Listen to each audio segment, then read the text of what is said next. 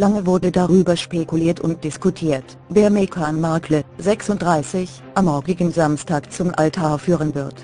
Da ihr eigener Vater, Thomas Markle, 73, bei der Hochzeit nicht dabei sein wird, fragte die zukünftige Frau von Prinz Harry, 33, kurzerhand dessen Vater Prinz Charles, 69. Er willigte, hocherfreut, ein, wie es in einem kurzen Twitter-Statement des Kensington-Palastes heißt.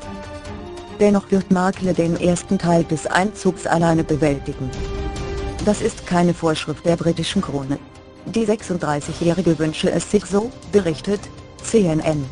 Damit wolle sie ein Zeichen setzen, sie ist eine starke und abhängige Frau, die bereit ist, königliche Normen in Frage zu stellen. Einen alleinigen Einzug der Braut gab es in der Geschichte der britischen Monarchie bislang noch nie. Wer ist die Frau an der Seite des Prinzen? Das Buch, Meghan, von Hollywood in den Buckingham Palast. Ein modernes Märchen, liefert die Antwort. Es heißt, Markle werde hinter einem Geistlichen die St. Georgskapelle betreten, gefolgt von ihren Page Boys und Bridesmaids zu denen unter anderem auch Prinzessin Charlotte, 3, und Prinz Georg, 4, gehören. Die beiden ältesten Kinder von Prinz William, 35, und Herzogin Kate, 36. In dieser Reihenfolge sollen sie anschließend das Mittelschiff der Kapelle entlang schreiten.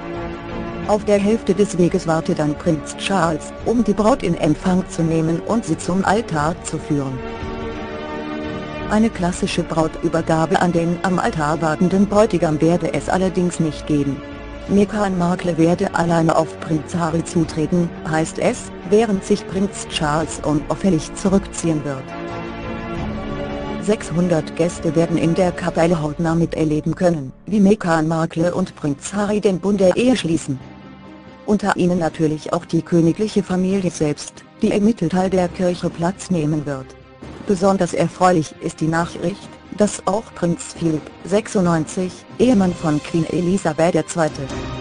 92, und Großvater des Bräutigams, an der Zeremonie teilnehmen wird.